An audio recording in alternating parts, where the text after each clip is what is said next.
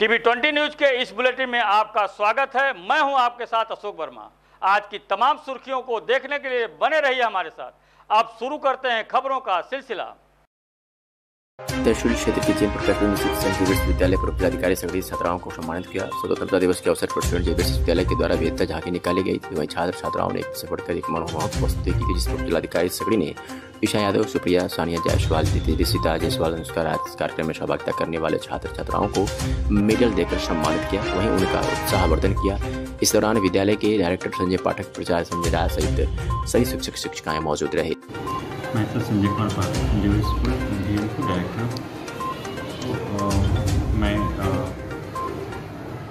Navodaya Vidyalaya principal Shri Shashikant Rai sir और उनकी नवोदय समिति को शुभना शुभकामना संदेश देता हूँ कि जिन्होंने अपने विद्यालय में हमारे बच्चों को एक सांस्कृतिक कार्यक्रम करने का जो है अनुमति प्रदान किया जिससे जो है बच्चे अपने परफॉर्मेंस को उजागर कर सके दिखला सके प्रकट कर सके।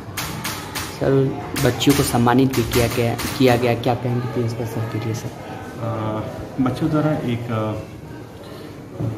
दुर्गा स्तुति प्रस्तुत की गई जिसके परिणाम स्वरूप वहाँ के उपस्थित सभी लोगों ने उसके बच्चों की सराहना की परिस्थिति को सराहा और वहाँ के विद्यालय समिति द्वारा, नवोदय विद्यालय जे द्वारा बच्चों को सम्मानित किया गया। इसके लिए विद्यालय परिवार भी गौरवान्वित अपने आप को महसूस कर रहा है और साथ ही साथ उस विद्यालय, नवोदय विद्यालय समिति को भी जीएनपुर को, खासकर नवोदय जीएनपुर को इस तरह का सम्मानित करने के लिए धन्यवाद किया मेरा नाम ईशा यादव है।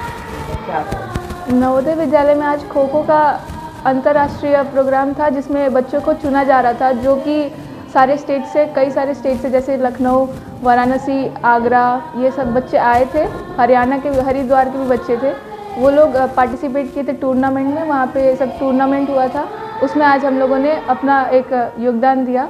आईगिरी नंदिनी का जो भजन है, वो गा के हम लोगों ने बच्चों के प्रोत्साहन को बढ़ाया। हमारी टीम मेंबर्स को सबको एक मेडल दिया गया हमारे प्रोग्राम के लिए, क्योंकि उन्हें बहुत पसंद आया।